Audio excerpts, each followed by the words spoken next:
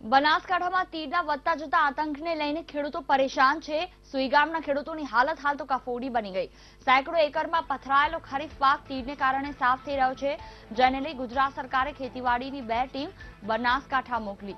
પરંતુ તીડ સામે ખેતીવાડીની ટીમ પણ નાકામ થઈ રહી છે કારણ કે ખેતીવાડીની એક ટુકડી વધુમાં વધુ પચીસ વીઘામાં દવાનો છંટકાવ કરી શકે છે. જ્યારે પાકિસ્તાનથી આવેલા તીડ લાખો એકરમાં ખરીફ પાકને નુકસાન પહોંચાડી રહ્યા છે. તૈયાર થયેલા પાકને તીડ ખાઈ જાય છે.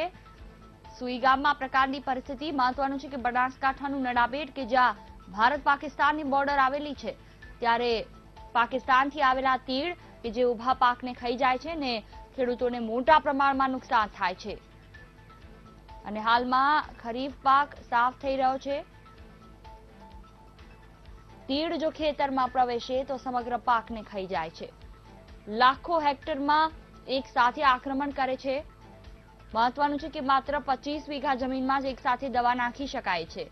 જેના કારણે ખેડૂતોને ભારે નુકસાન થાય છે.